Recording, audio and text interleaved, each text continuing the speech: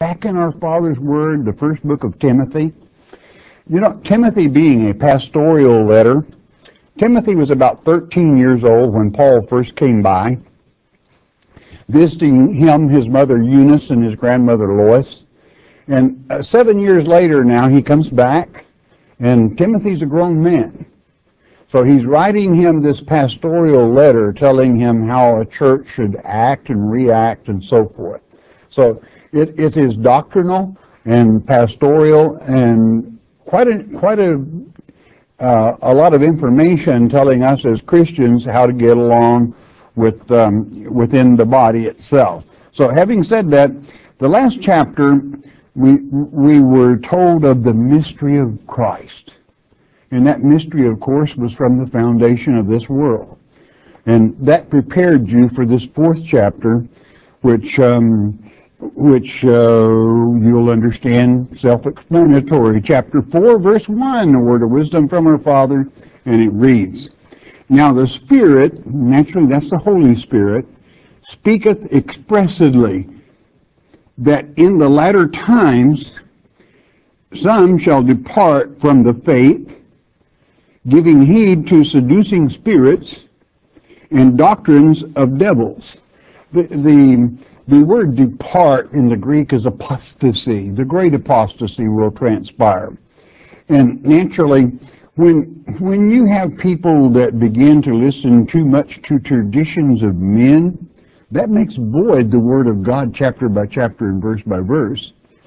And what, what he's telling Timothy here is, um, I want you to, in the latter times, teach that people should expect this. And you know, it is really true when you look at this world today, and when you see so many people doing bad things and calling it good, spiritual wars and blowing up little children, innocents, you know something is far wrong. Somebody's being led off the path expressively as the Holy Spirit would speak, bringing truth um, to all mankind. So these seducing spirits, don't, don't think for a moment there are evil spirits in the earth. Uh, Satan, we have the Holy Spirit, and for every negative there is a positive. God also allows the evil spirit, but he gave us power over them. In Christ's name, you can order them out of your life. You don't have to put up with it. So you make a stand. You stand strong. But there are, I mean, people that will lead you astray if you listen to them. Well, how can I tell the difference? Well, are they teaching God's word or man's word? That's pretty easy to determine. Verse 2 Speaking lies and hypocrisy, having their conscience seared with a hot iron. You know, um, many people lose uh, the meaning of being seared, like you would sear a weapon before we had all the antibiotics and everything else. Many times you would, if you were in the field, you would have to sear a bad wound to stop the bleeding and everything else. But unfortunately, when you do that, it kills every nerve in that area. You got no feeling there any longer. And what he's saying here is your very conscience your thought process is seared with a hot iron. There's no feeling there. There's, there's uh, no conscience. You have no compassion. And um, certainly, Satan always ground, gains ground when people have no compassion. Always the mark of a Christian, especially one of God's elect, is they have compassion on people. They care. Verse 3 forbidding to marry and commanding to abstain from meats which God hath created to be received with thanksgiving of them which believe and know the truth. Now, many times people have difficulty reading. Never let anybody, well, now, where there are some groups that uh, if you're a divorcee, you cannot remarry. Well, it shows their ignorance of God's Word. Number one, if you understand the law of our Father's Word, there are reasons for divorce. And those reasons well recorded. 1 Corinthians chapter 7, And then, have you ever read uh, Jeremiah chapter 3, verse 8? God is a divorcee. He divorced Israel. Give her, I mean, wrote her out a bill of divorcement. You can read it for yourself. Jeremiah 3, verse 8. But Christ forgives. And it is true, if you do not repent, you should not remarry. But if you repent of all your sins, and God washes you white as snow and forgives you, you're a new person. Now, th- this has to do with there are biblical reasons for divorce, in that you can remarry. Don't ever let anyone take that away from you, and don't ever let anyone judge you on that. Because, why? Well, by God's Word. Go by God's Word, not traditions of men. Some, some people will make second class citizens out of divorcees. That is not fair, and it is not right. Make them sit at the back of the church. How, how unfair can you be to teach a forgiving Christ? The fact that He forgives all sins, paid an awesome price on the cross to, to pay for sins on repentance. And then to say He doesn't have the power to do that. Now, there's a great deal more in that particular verse that you've got to be real careful. Commanding to abstain from meats. You shouldn't eat this or you shouldn't eat that. But, but that's not what it says. It says, which God hath created to be received. Don't let anyone judge you on that. God didn't create everything to be received. God made basically two classes of animal and bird and fish. Scavengers don't eat. Um, and otherwise, they're clean. So, and it is clean food. So, uh, no way have bodies changed since you since the beginning of time. Still the same flesh bodies, generation to generation, same health laws. God makes it very clear in Leviticus chapter 11 what you should and shouldn't eat. Now, this this um, eating scavengers is is not a sin to hell. It's a sin to your health. If you want to be healthy, you want to eat God's way. That's that's why why you pay attention to what your father. He created these bodies. He sent this letter of instructions along on how to keep them healthy and perking right along and doing pretty good, though we live in a polluted world. So, uh, what this is, what do you mean then with a scavenger? Okay, let's take. You got a little fish that's a sucker, called a sucker. He goes around on the bottom of everything and eats all the droppings and dead animals and all the germs and diseases, and he, he cleans the pond. He's a good animal for what he was created for. He keeps disease away from the good fish. Okay. But you don't eat one of them. That's like taking your dirty air conditioner filter that's filtered your house and make you a cup of tea out of it. Okay? Likewise, what is a great stretch for many people is pork, then. Naturally, Leviticus says, of the pork you shall not eat. Why? Well, it has no sweat glands, except for just one or two in its nose. Well, where does the poison, you know, a human being, you've got sweat glands. If you get sick, you get a fever, and you sweat the poison out of your system. That's the way God made us. A, por- a porky, He's created to cleanse the earth, and therefore he has no sweat, glands, and therefore the poisons are stored in his fat. Naturally, that's why God said, hey, don't eat them. They will make you sick. Okay. And you, you go with that that has the split hoof and chews its could. But th- those are God's health laws. And many are going to say, well, brother, you're just out of touch. Because Peter in Acts chapter 10 was told by God when he brought three sheets down filled with scavengers and told Peter to eat, that he cleansed them. You would be a poor student of God's Word if you felt that from that point. Just as those sheets were coming down from heaven and God was telling Peter to eat as he was on top of the house praying, Cornelius's people were at the front gate asking that Peter would come and teach them that they loved the Lord Jesus Christ. They were Gentiles. called unclean or common before this time. It was not legal for one that served God to eat even with a, a Gentile, a commoner. God is doing a little lesson here concerning the scavengers with people. What did he say there? Let's, what was the whole message of that? If you think that was what it was, you find the answer in the 28th chapter. After the sheep went up three times, Peter, he still, I'm not going to eat that stuff. Then finally Cornelius's people show up and, and speak of the angel that sent them here sooner or later. And then Peter states in the 28th verse, and this is the answer.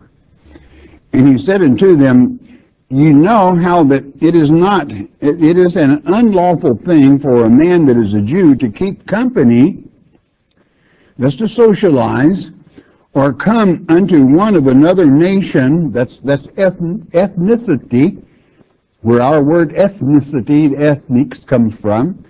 But God has showed me that I should not call any man common or unclean. And not, not animals. We're not talking about something to eat. God was making a point to Peter that you don't call uh, anyone. And uh, allos in the Greek is different. Pul is a race or kindred. You do not call them common, whoever they are. If they love the Lord Jesus Christ, they're a Christian. Okay? That's what that was all about. It was not cleansing food. So, back again to the fourth chapter, don't let anyone judge you in marriage or don't let anyone judge you in eating meats that God created to be received. And again, I'll give you the key. All you got to do is read Leviticus 11 and it'll give the list there that you should and shouldn't eat if you want to be healthy. So um, there we, it's, it's too bad that people um, miss, do not teach God's word of health and understanding as well as spiritual. Explicitly, he says in verse 1, teach this. Now, here again is where it throws a lot of people. They take this fourth verse. Verse 4, let's read it. For every creature of God is good, and nothing to be refused if it be received with thanksgiving. And people will say, well, see right there, God made it possible that every creature is good. Didn't say good to eat. Good for the purpose God created it for. Okay. That's, that is what the subject is. Every creature that's being one created of God is good. God doesn't create bad stuff. He created bad stuff for you to eat. You see, that bad stuff that you're not supposed to eat keeps disease off of humanity. It cleanses the world. That's what it was created for, and that is good. For the purpose God created it, that's good. Now, this is something everybody must make their own mind up about, and uh, and choose their own path. And but as a teacher of God's Word and understanding the manuscripts, I'm going to teach it the way it's written on every quarter. If you want to be healthy, God created these bodies. He sent this book of instructions on how to handle them. You know, a lot of people, if they get some big uh, house object that must be put together, they are sent a bill of instructions on steps to use, and they throw that away and start throwing stuff together and they end up with a bunch of leftovers and that's the way they do their own life. They don't read this letter of instruction on how to keep the body healthy and how to be pleasing to Almighty God, whereby you receive His blessings. That's important. So, there you have it. Uh, always remember Acts chapter 10, verse 28 when you read that verse. Uh, verse 5. Let's continue on. For it is sanctified by the word of God and prayer. In other words, by the word of God and prayer and study of the word, you know what is and what isn't. Verse 6. If thou put the brethren in remembrance of these things, thou shalt be a good minister of Jesus Christ, nourished up, nourished up in the words of faith and of good doctrine whereunto thou hast attained. In other words, if you will stick with this, if you will stand by it, if your character will not bend one way or the other, never, you know, you do not teach God's word to offend anyone, but to correct, to bring help, to bring the good news, to bring the letter from God, and never make any apology for it, because it is your Heavenly Father's word. And His doctrine, you want to be a good minister, you want to be one that is able to plant seeds to your neighbors and so on and so forth, go by God's word. It makes you a good citizen. It, it makes you out, uh, stand out in the community. Your own dignity and your reputation is helped there. Verse 7. But refuse profane and old wives' fables, and exercise thyself rather unto godliness. Now, you know, uh, women sure get a bad rap sometimes by interpreters without explaining the full thing. You know, I'm, I'm familiar with old wives' fables, and I'm familiar with old husbands' fables also. There's a difference.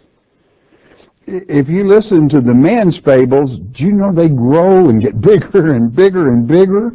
Women's fables usually pretty well, the old wives they pretty well stay the same. But men's, they grow and get greatness to them, you know? So, uh, always document things. It's real easy to document them in the Word of God and find out what saith the Father. For He's the one that made these things, knows how to get along, and what He expects from us if you want His blessings. Okay? Uh, verse 8. For bodily exercise profiteth little, but godliness is profitable unto all things, having promise of the life that now is and of that which is to come. Now, uh, bodily exercise is fantastic. It keeps your body healthy, uh, but compared to exercising your mind in the Father's Word, makes you much stronger. It gives you character. It, it gives you knowledge and wisdom and understanding. It gives you the doctrine of Almighty God whereby you can attain freedoms from doctrines, freedoms from traditions of men that will bind you and make prisoners out of you by false teaching. You know, learn the truth and the truth will set you free from crackpots, okay, from false teachers, from fables when you have the actual Word of God in His gentleness and in His kindness. God's Word is always gentle when it should be gentle, and it's firm when it should be firm, and it is certainly corrective when you have to practice tough love. It's all part of God's Word to its completeness. Verse 9. This is a faithful saying and worthy of all acceptation. It's just, it's just good. Exercise your mind. Keep it working. Verse 10. For therefore we both labor and suffer reproach, because we trust in the living God, who is the Savior of all men. How many was that again? All men. Especially, of those that believe. When you believe, you automatically, God so loved this world that he gave his only begotten Son, that whomsoever would believe upon him would not perish, but have eternal life. That word eternal is, it means exactly that. God is not the God of the dead. In other words, you exist from the first earth age through this one and the one to come. God is not the God of the dead. Satan isn't even dead yet. I think if you've lived very long, you can document that. but he will at the end of that great 20th chapter of the great book of Revelation. Verse 11. These things command and teach. In other words, you hold, excuse me, you hold a firm line, and this is what you teach. And you know something? If you teach and practice God's Word, you're going to have God's blessings. You know, some people say, well, God never does anything for me. I wonder why. Well, I can tell you. Do you ever read his letter? Do you ever live by it? Kind of, you know, at least, I, I know we're not perfect, and I know we all fall short. But if you make a good effort, God's going to bring you happiness. God's going to bless your life. And, um, and I believe that many people have a destiny and a purpose, as it is written in this great word of God's election. And they have duties to do, and they've known since they was a child there was more to God's word than they'd been taught. And they hang in there and they let build that character. They exercise that mind and they absorb that truth. And they're not afraid to share it. Okay. Verse 12. Let no man despise thy youth. Timothy was only about, what, 20 or 21. Let no man despise thy youth, but be thou an example of the believers in word. Well, how can you do that in word? You learn it. You exercise your mind in it. Then you're ready. Timothy was. He had two good teachers besides Paul. He had, he had Eunice and he had Lois, his mother and grandmother. His father is never mentioned. In conversation, in other words, you, you keep that conversation going, you gain in it. In charity, that is to say, love of the community, of your neighbors. In spirit, that is to say, in the Holy Spirit, let the unction and spiritual discernment come into you whereby you know what is right when you hear it and and uh, and what is wrong. Without uh, just it is just your ability with that spiritual discernment to know. You can meet somebody and in five minutes you got them pretty well figured out you know because you can witness their spirit. That spirit comes forth and then plus that love in spirit, test that spirit in faith.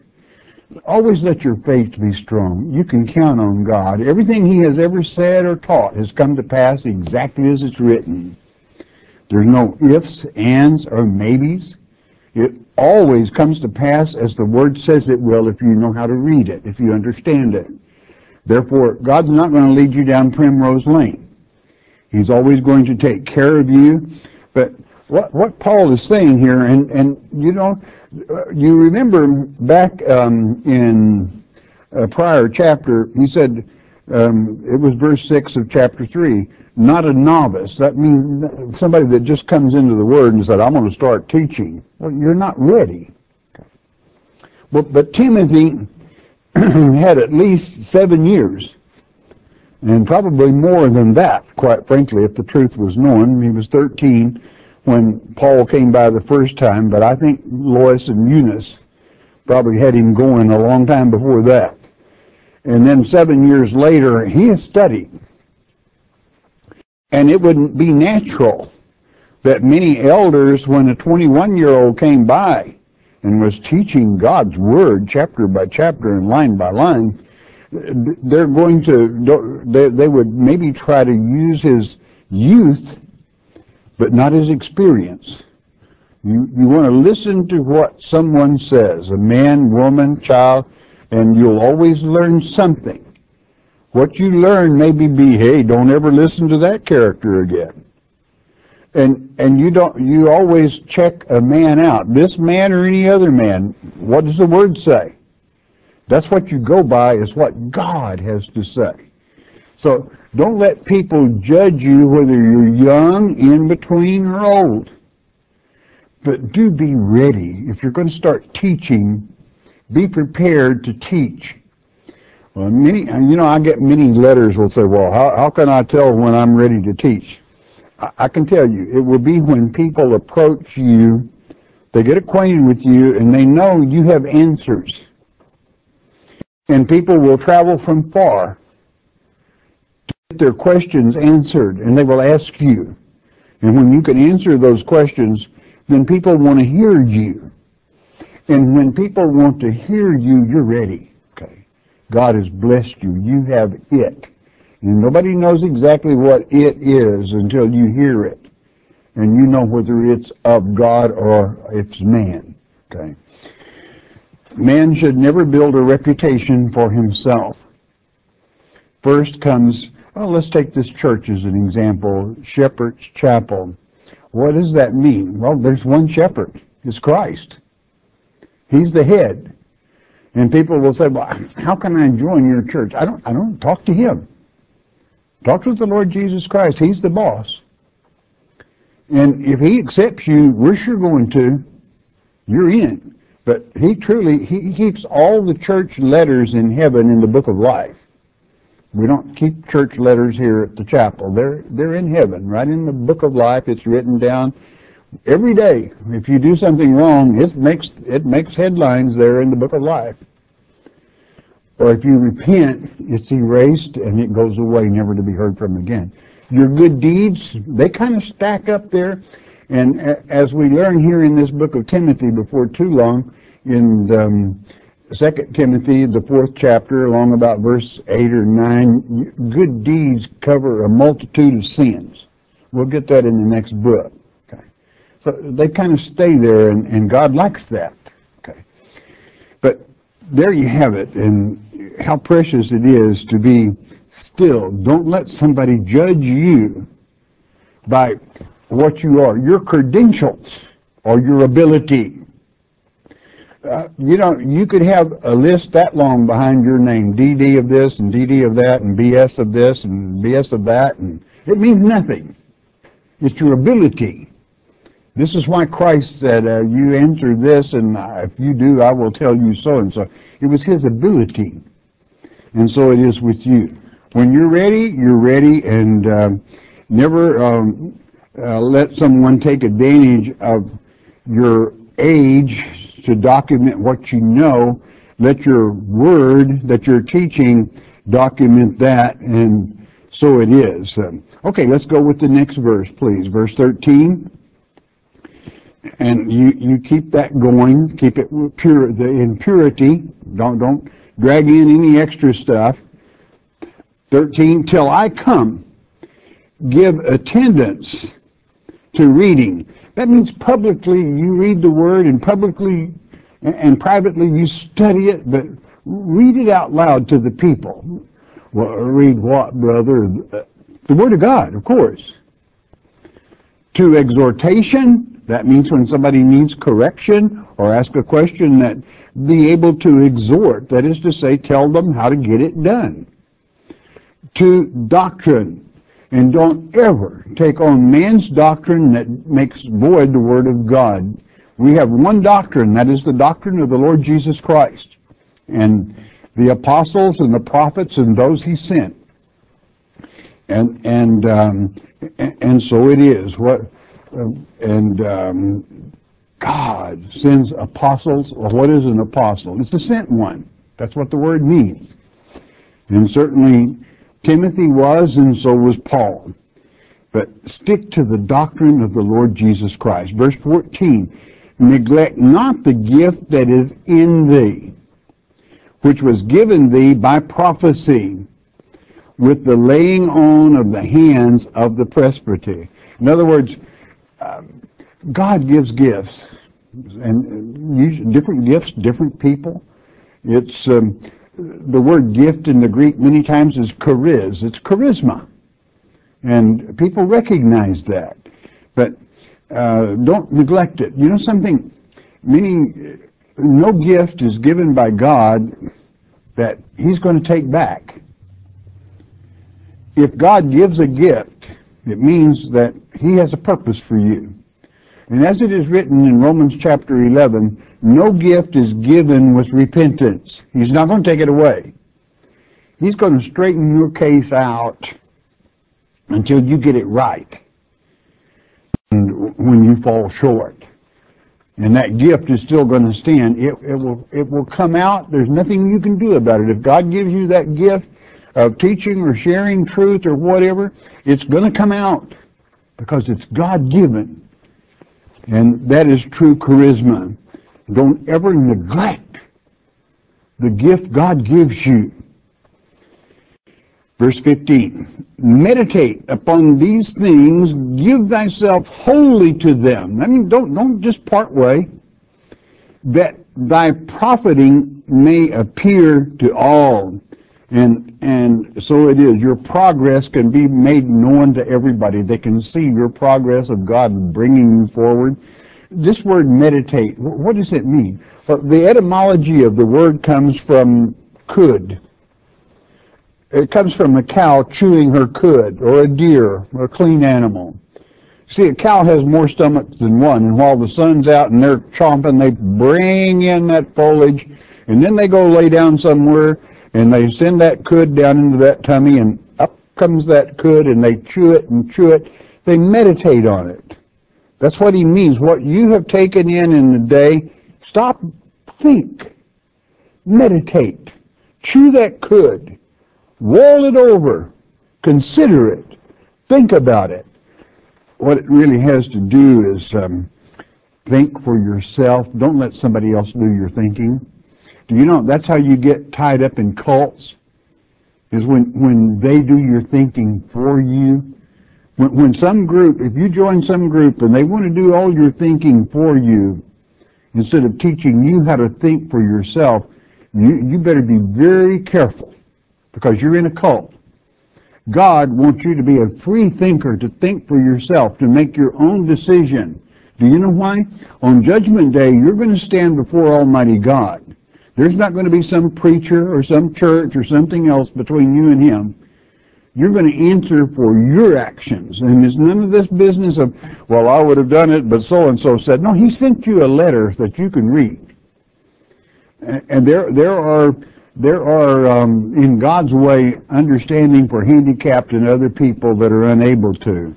But He does it. Okay, one more verse here. Let's go uh, with uh, verse 16. Take heed unto thyself and unto the doctrine. That's the teachings. Continue in them. You stay firm. For in doing this, thou shalt both save thyself and them that hear thee.